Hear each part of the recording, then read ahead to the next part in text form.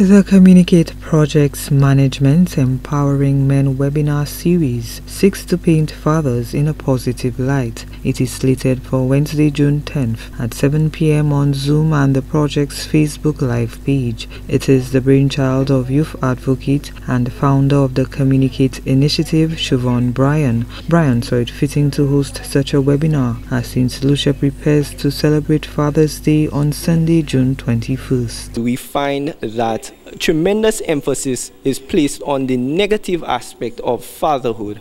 And the aim of this webinar series, which is called Management, seeks to empower men through the teaching of, on various topics such as mental health, spiritual health. We're looking at men's physical health, men in families, men functioning as husbands, and also the overall spiritual health of the man.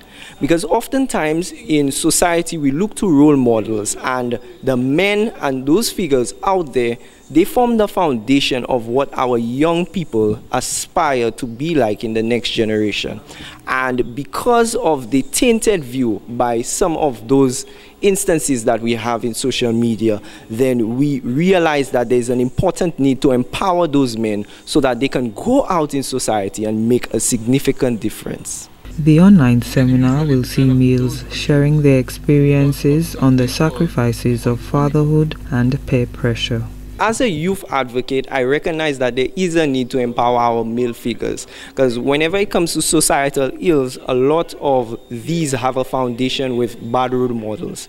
And as a youth advocate in that regard, I noticed that there has been a very wide reception of this webinar and lots of persons have been coming to me and expressing their gratitude on being able to touch on men mental health or male mental health rather.